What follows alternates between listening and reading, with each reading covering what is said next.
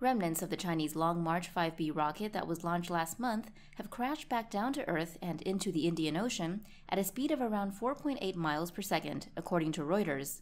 On Sunday, Chinese state media, citing the China Manned Space Engineering Office, said the rocket debris had mostly burned up upon re entry into Earth's atmosphere.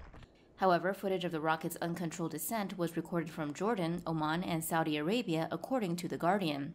Corroborating those images, the monitoring service SpaceTrack, which uses U.S. military data, said the rocket was recorded above Saudi Arabia before falling into the Indian Ocean to the west of the Maldives. After days of speculation that the debris could hit land and endanger lives, U.S. Defense Secretary Lloyd Austin said in a statement on NASA's website, It is clear that China is failing to meet responsible standards regarding their space debris. Wang Wenbin, a spokesman for China's foreign ministry, dismissed concerns about the reentry, saying it is common practice across the world for upper stages of rockets to burn up while reentering the atmosphere. Emphasizing the lack of controlled outcome, Harvard based astrophysicist Jonathan McDowell said the debris could have landed as far north as New York or as far south as southern Chile, according to The Guardian.